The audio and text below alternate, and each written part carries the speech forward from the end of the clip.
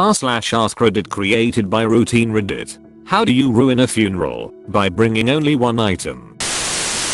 Get well soon balloon. Get one full of helium and inhale it before you do their eulogy. Edit. Finally my evil is recognized thanks. Or sulfur hexafluoride to make for a truly evil eulogy. Dress as Satan and talk about how the person is burning in heck. That's evil. I love it. Helium always lightens the mood. I can't speak highly enough of it. I speak very highly of it. You guys are a real gas. I tell ya. I'm officially requesting this at my funeral. If anyone gets offended by it, they don't deserve to be at my funeral. Seriously though, this actually seems like a great way to break the ice at my funeral. Passes balloon to deceased family I didn't want this to go to waste. High pitched voice. You wanna hit this? Leave a like, comment, and subscribe for daily Reddit videos. I had an aunt who brought her boyfriend to her husband's funeral.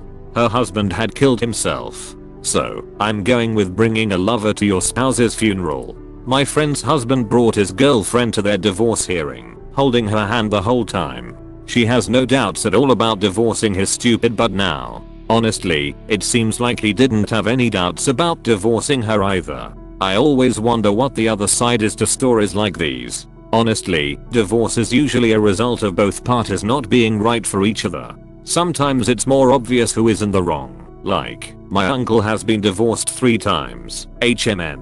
Wonder if he's the common thread. A different uncle has had one divorce, and it was kinda sudden, and took the family by surprise. The second uncle has a more interesting story worth looking at. On one hand his wife was the one that started the divorce. She contacted a lawyer first. But she had a chronic illness, and he had to work enough for both of them. As far as I can tell, he wasn't home much because he was supporting 5 people by himself and she became resentful because she had to manage the house without him more or less and that's not a position she wanted to be in. After the fact, it kinda looks like it had probably been a long time coming and they waited until their kids were 18 then promptly divorced. Pretty tragic looking back on their marriage. I know of a similar situation there was this guy I went to high school with, his long-term girlfriend cheated on him with this other guy and then brought him to the funeral when guy number 1 killed himself over it. I thought it was in poor taste to say the least. That's disgusting. Talk about being a scumbag. Get this. I knew a guy who died, and the dude responsible for the death spoke at his funeral. Long story but I'll try to keep it short. Last summer the dude I knew, let's call him John, was hanging out with some friends at a river house. The house was owned by one of the friend's parents. Let's call him Bill. Bill is a big fat party animal good old rich boy. Anyways from here on out, I'm going to telling the story in an alleged sense, because thesis events have not legally been proven to have happened, but everybody freaking knows this is what went down. John and Bill were cruising around on Bill's boat. I'm not sure who else was on the boat. Bill was drunk. Bill hit something in the water.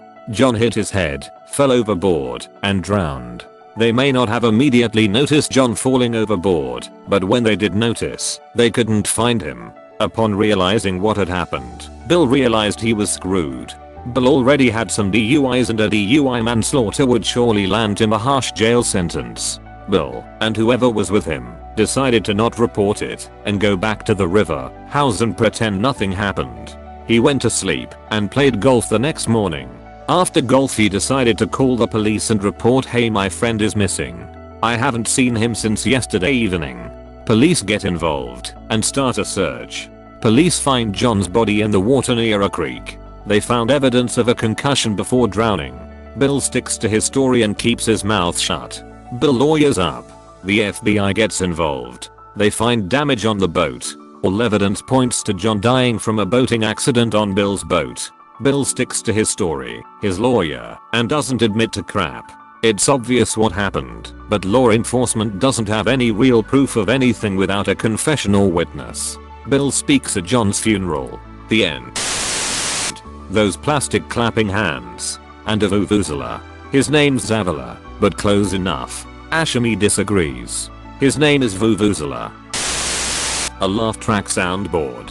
Seinfeld theme included. I mean what is the deal with funerals, right? B-E-O-O-M bomb boo. Boo boo dum ba dum bap. Edit. Thanks. Why do they call it awake? This guy looks asleep. Reading all of these in Jerry's voice is so great. Kramer, they only use the casket once. It's criminal, Jerry.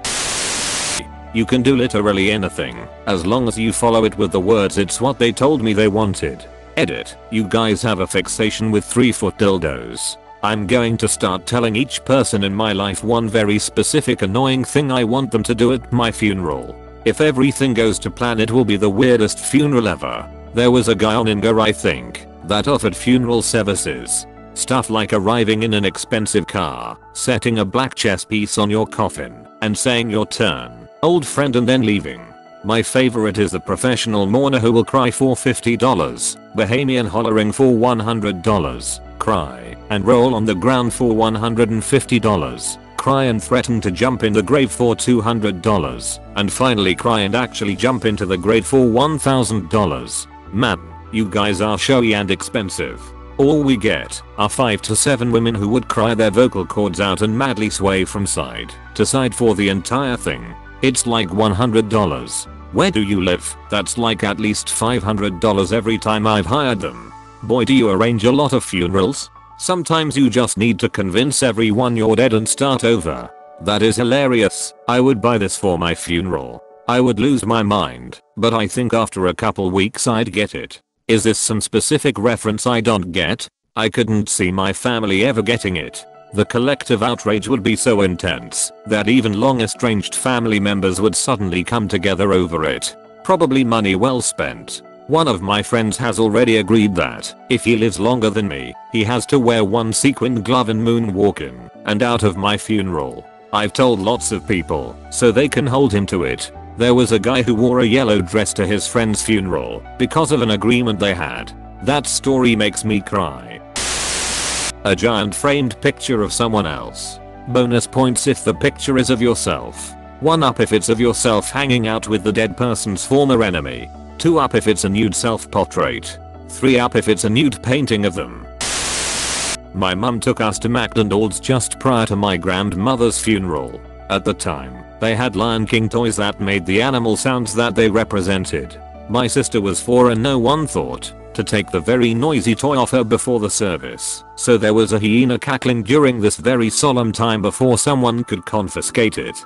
Ruined the mood, but in a very uplifting way. McDonald's. McDonald's. That made me ugly laugh.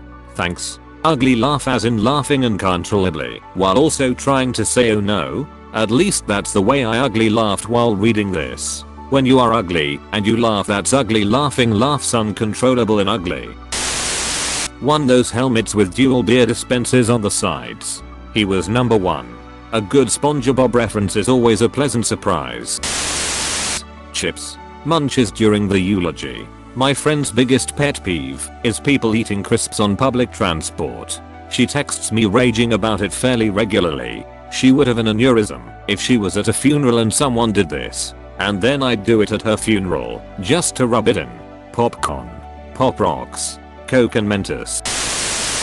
Googly eyes. Put them over the dead person's eyes as you solemnly tell everyone it's an important ritual in your religion that allows the deceased spirit to see their way to the other side. Does anyone know if I can ensure this is done to me when I die? Could probably add it to your will. On my screen it looks like you replied before the person above you posted their comment. Time travelers are taking over Reddit. Air horn. Vuvuzela. That's how you ruin everything. As someone who owns a Vuvuzela I can confirm that it does in fact ruin everything. Is a clown suit one item? Because I've got an idea. Edit. Why? You can't spell funeral without FUN. You are now moderator of r slash New Orleans. Can you explain this reference? We put the fun in funeral. Now that's a good send off. Would really love to see more celebration of this person's life funerals, rather than everyone dress in black and wallow in sadness and eat casseroles. Can I get the casseroles without the sadness? Cause if I can, that's totally how I want my funeral to be. Just everybody I liked sitting together stuffing their faces in Milner. Another casket with a body. Sorry Mr. Baker, we had another little mix up at the parlor. This is the real one, I promise it this time. Since you already have the hole dug, you mind if we throw one more in it? Wanna go halfsies? NGL Mr. B, I'm gonna toss this other broad in, even if you say no.